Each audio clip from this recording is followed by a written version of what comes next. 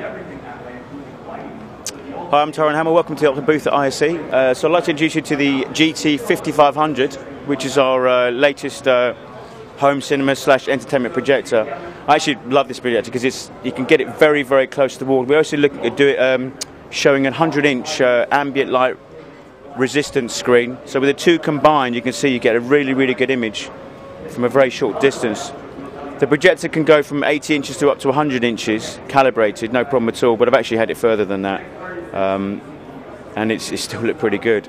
The best thing about it is you can see with the screen, you know, there's a lot of ambient light in here, and it, it does the job really, really well. And uh, we've had a lot of interest at the show because obviously we've got the football coming, and uh, yeah, in terms of connections, obviously has has most of the things you need there.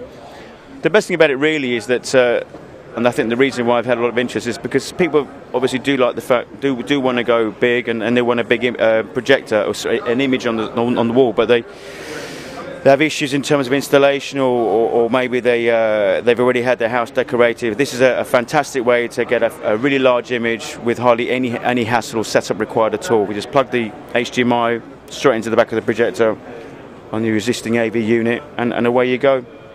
You don't necessarily have to have the screen, but the screen obviously does help give you a, a, a, perfect image, regardless of what the light is in the room. And obviously, when you, if you, it's got 16 watt speakers, but if you connect it with a soundbar, then literally, and, and obviously a fire stick or something like that, you're, you're uh, ready to go. So that's it really. Optoma GT 5500. If you'd like more information, please visit the, sorry, visit the website. Thank